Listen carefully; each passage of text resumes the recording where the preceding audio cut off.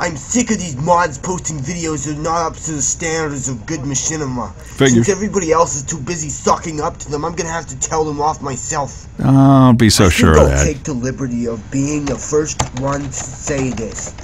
This was stupid, pointless, and a waste of time. That's Absolutely one nothing way of looking at it. productive or innovative was provided. That's you all over. expected from any video on Flatgrass, which should only be used for contraption videos. Your mind is all in in the all, gutter. A bunch of people minging around.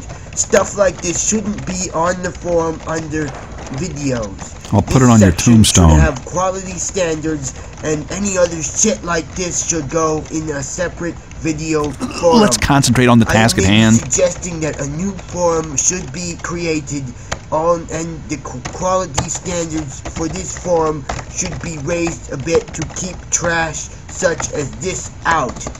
That's enough out of you.